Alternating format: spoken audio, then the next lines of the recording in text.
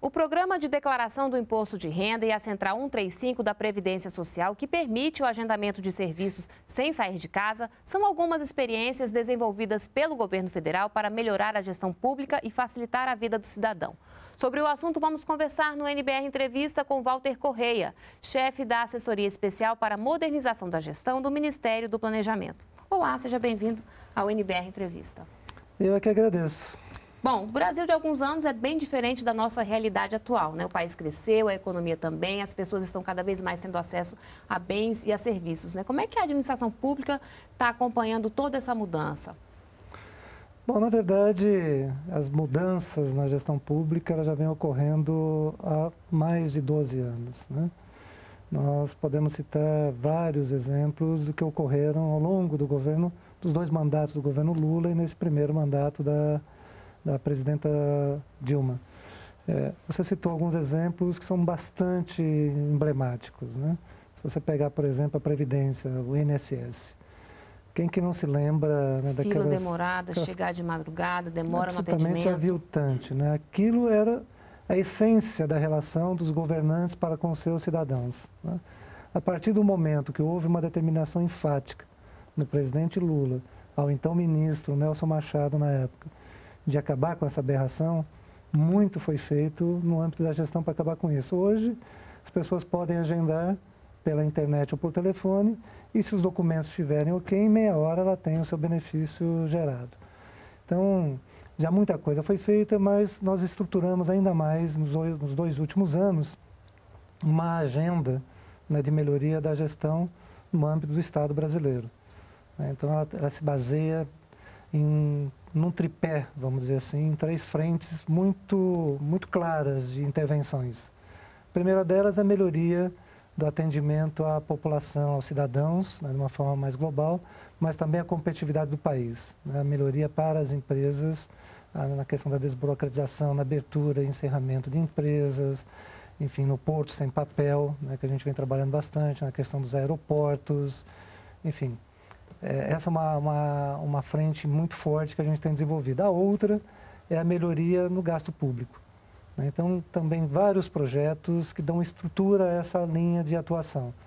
Posso citar como exemplo é, um trabalho que nós fizemos muito forte na folha, na folha de pagamento, né? tirando duplicidades de pagamento, pagamentos indevidos, pagamento a pessoas que já tinham entrado em óbito há muito tempo, então, isso já deu uma economia de praticamente 700 milhões ano. E é uma né, economia que volta para o cidadão, né? Exatamente, ela volta em termos de benefício. Então, nós estamos melhorando essa qualidade.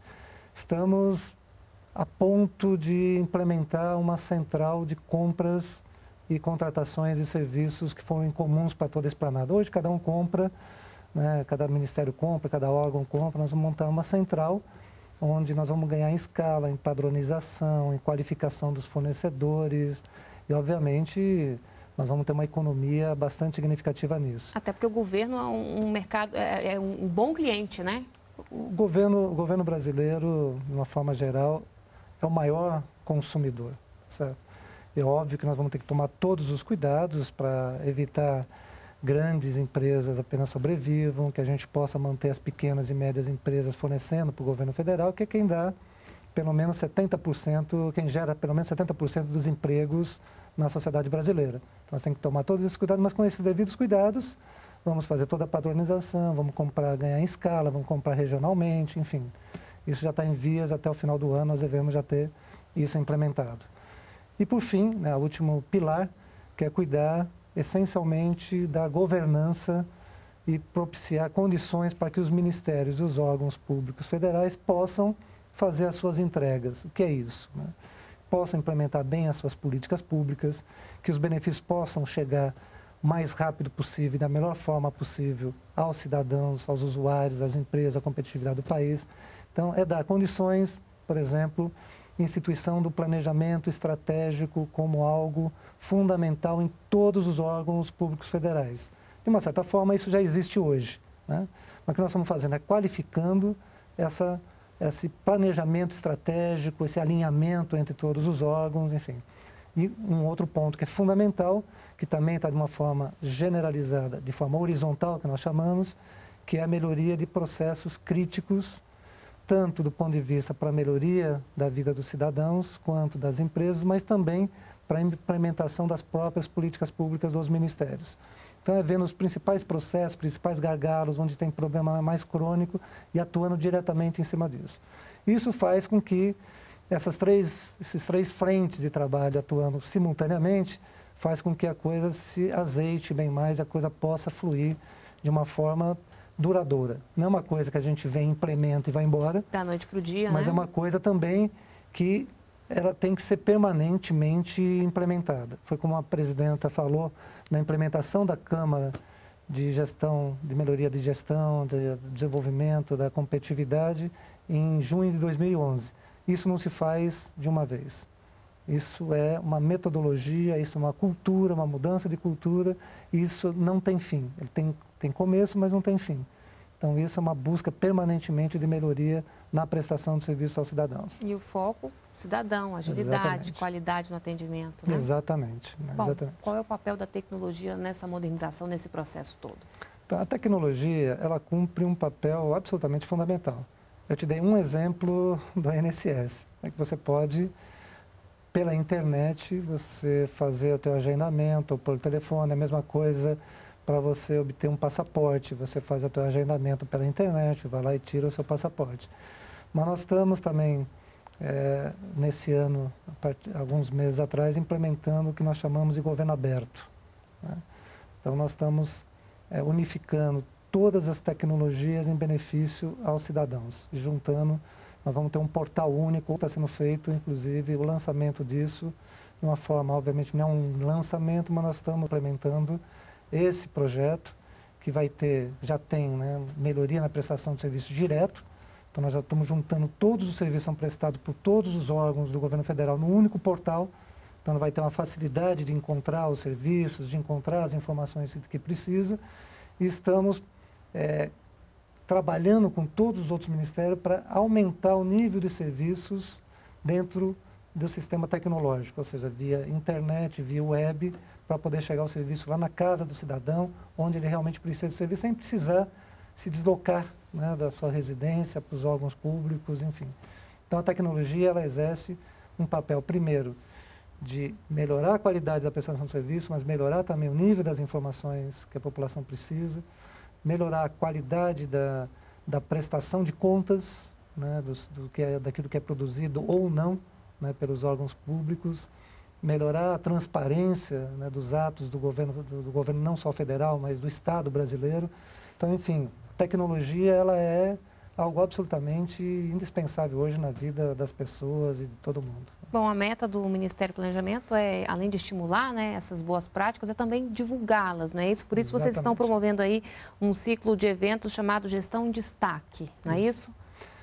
Dentre uma das ações que nós temos nessa agenda, né, que eu, na qual eu mencionei, por exemplo, a questão da governança, né, de melhoria das condições dos ministérios poderem atuar para poder fazer as suas várias entregas né, para a sociedade, nós temos uma, uma, uma ação que é identificar em cada local do, do, da esplanada ou de, eventualmente de outros governos ou de outros locais boas práticas na área da gestão que possam ser disseminadas.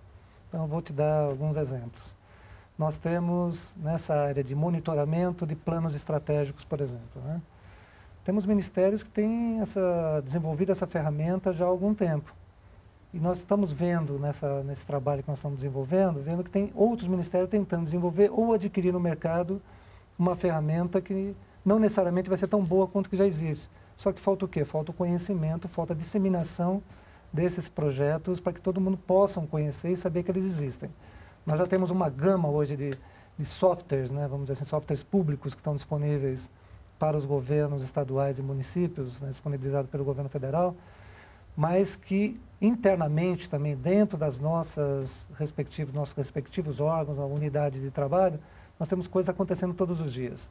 Então nós queremos fazer o que com isso? Pelo menos mensalmente nós trazemos uma boa prática né, na área de gestão para que possa ser conhecido não só né, pelos funcionários ou pelos gestores do governo federal, mas também para a própria população, ou pelos governos de estados ou os outros entes, até os outros poderes também, puderem utilizar. Além nós, da esplanada, né? Exatamente. Recentemente, nós, através de um benchmark que nós temos feito para buscar um bom, um bom sistema para controle de processo, nós fomos descobrir lá no TR, TRF 4, né, que então, está nos disponibilizando isso, nós já estamos fazendo um, um piloto com o GDF né, e com outras instituições para que todo mundo esteja dentro de um, de um sistema único no país que a gente possa controlar os processos administrativos.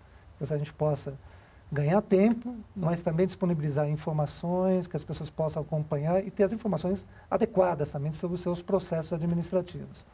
Então, através dessa, dessa, dessa atividade, vamos dizer assim, que nós vamos começar a desenvolver, a ideia é que a gente possa ter maior debate, maior transparência também, que as pessoas possam conhecer e disseminar, implementar nos seus respectivos órgãos de interesse. Bom, a gente falou um pouquinho, né? Porque aqui em Brasília tudo é perto, né? Quando a gente fala dos poderes, né? Mas e como é que fica com estados e municípios, né? Como é que é essa relação, esse diálogo, né? Esse levar esse conhecimento aí a mais para estados e municípios. Como é que é isso hoje? Nós assinamos na última jornada de gestão, a ministra Miriam assinou com o presidente do CONSAD, que é o, que é o Conselho de, de Secretarias de Gestão de todos os estados, um protocolo um protocolo de trabalho de melhoria da gestão. Então, ali tem uma série de frentes onde nós estamos trabalhando conjuntamente.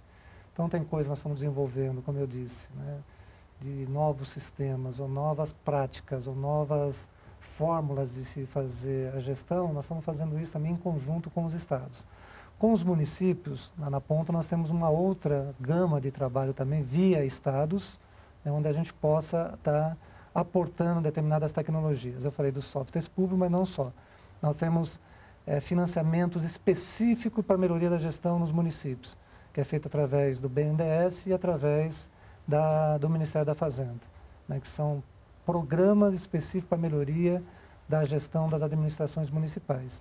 E, obviamente, que a gente tem protocolos de interesse que temos trabalhado frequentemente. Pra você ter uma ideia, nesse Nesse protocolo que foi assinado pela ministra Miriam, junto com o presidente do CONSAD, estavam os 27 estados né, presentes e todos eles assinaram esse protocolo e já, a gente já vem trabalhando isso já há algum tempo. O Brasil também troca experiência com outros países? Trocamos sim. Nós, eu, é, o Brasil hoje ele é presidente do, do Congresso Latino-Americano de Desenvolvimento, o CLAD. Né? E ali nós, nós temos representado todos os, os países da América Latina, da América Central, alguns, e mais Espanha e Portugal. E ali nós nos reunimos anualmente né, para trocar todas as experiências, ficamos reunidos com, levamos as principais práticas de gestão nesse fórum, onde nós apresentamos, debatemos, discutimos e, e tentamos implementar nos respectivos países aquilo que tem de melhor. Temos também um bom nível de relacionamento com a OCDE, que é já da Europa, com os países europeus, onde a gente também tem uma troca de experiências constantemente. Então a gente está atento, né? nós estamos atentos ao que está acontecendo no Brasil e no mundo, né? na América do Sul, mas não só, né? nos países também europeus, estamos aprendendo também com os problemas que estão tendo lá recentemente no âmbito da gestão, tá certo? Então nós também usamos isso como um aprendizado para que a gente não cometa erros, né? que eventualmente possamos evitar na área da gestão. Vamos cometer erros novos, né? mas os erros já Faz conhecidos parte, né? e velhos a gente vai tentar evitar. Tá certo, certo, então. Muito obrigada pela sua participação aqui no NBR Entrevista. Eu que agradeço, estou sempre à disposição. Até uma próxima oportunidade. Muito obrigado. Outras informações na página do Ministério do Planejamento. E para rever essa entrevista, é só acessar o endereço que aparece agora aí na sua tela. Muito obrigada pela companhia e a gente se vê no próximo programa. Continue aqui na NBR, a TV do Governo Federal.